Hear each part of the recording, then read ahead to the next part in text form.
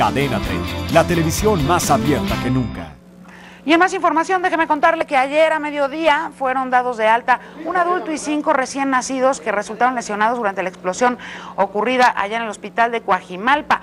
Los que fueron dados de alta son un adulto de 41 años que permanecía internado en el Hospital General de Balbuena, un recién nacido, disculpe usted, un recién nacido... Eh, del Hospital de Legaria y cuatro pequeñitos que estaban hospitalizados en el ABC de Santa Fe. Asimismo, permanecen todavía hospitalizados una mujer en el Instituto Nacional de Rehabilitación, dos recién nacidos en el ABC y el bebé que fue trasladado a Galveston, allá en el estado de Texas, en Estados Unidos.